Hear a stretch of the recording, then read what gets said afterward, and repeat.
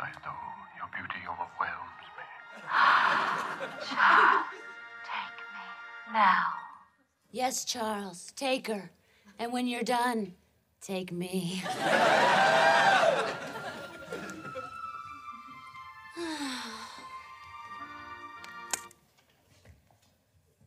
I wonder what it feels like to be in someone's arms again. Please, Peg, you're killing me.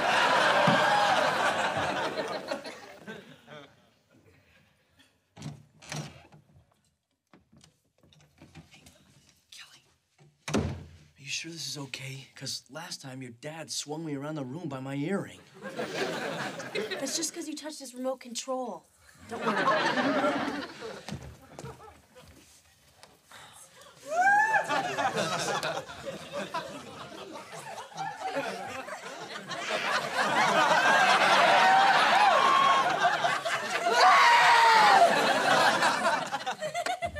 Kelly, help! An old chick's got me!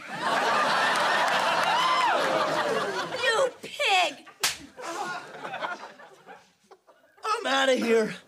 I get enough of this at home from my mom's friends. Well, thank you, Mrs. Rhoades. That was the third guy this week that I was truly in love with that you messed up for me. Kelly, sit down. See, I have this, well, this problem.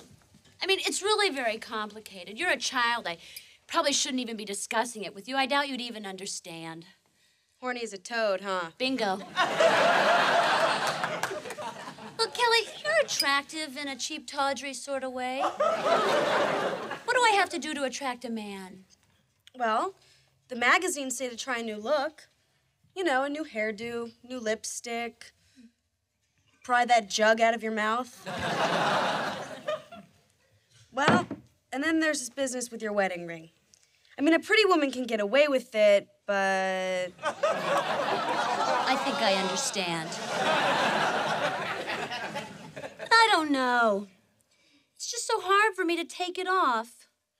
It's like admitting to myself that my marriage is really over, which it obviously is, and has been since Wiener Neck left in the night like a balding thief. I should take it off, but I just can't. It's too sacred to me. Fine. Then we'll just get you a cat pole. It's off. There.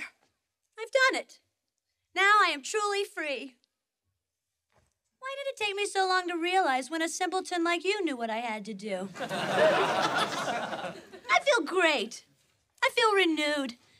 I'm ready to fly. Oh, yep. From this point on, Marcy Rhoades soars like an eagle. Simpleton? I know that means something bad.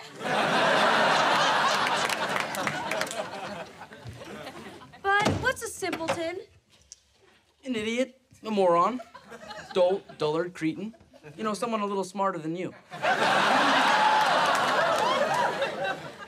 Hey. Aw, look at Mrs. Rhoades. Isn't she cute? Peaceful as a baby. I want her so bad.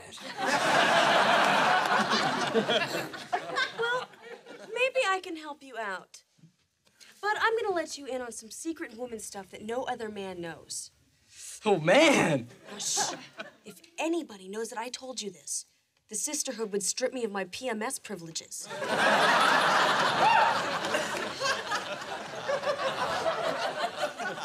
now, you see, Bud, when a woman sleeps, her hormones accumulate, which means that when she wakes up, she falls in love with the first man that she sees.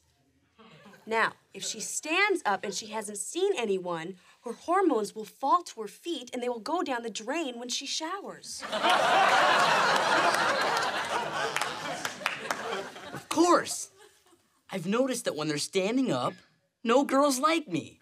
But we won't give Mrs. Rhoades the chance. Now, if I were you, I would sleep here tonight on the couch.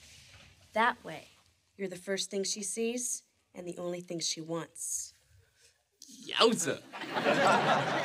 what should I wear?